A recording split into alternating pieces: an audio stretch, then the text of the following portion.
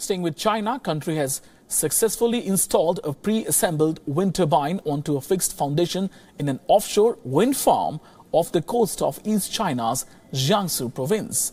Before installation, the tower and turbine were completely assembled onshore and then tugged to the wind farm that is 42 kilometers offshore from Dongtai. The entire installation took just about two hours.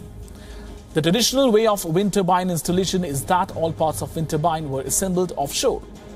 Comparing with it, the new way of installation can reduce working period offshore by 2 to 3 days. The wind farm has 75 4 megawatt wind turbines. Each wind turbine weighs nearly 1,000 tons, with its tower measuring 76 meters.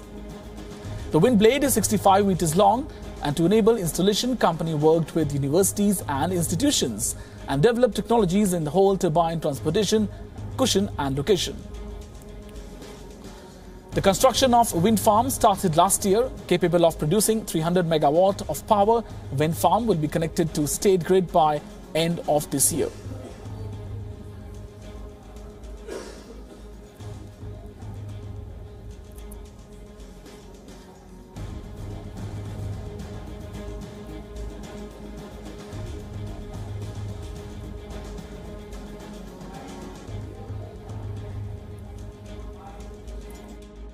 相比较于传统的海上安装，我们整体吊呢施工功效更高，缩短海上风电场的建设周期，适用范围更广，能适用不同水深、不同地质的风场，可有效减少海上作业量。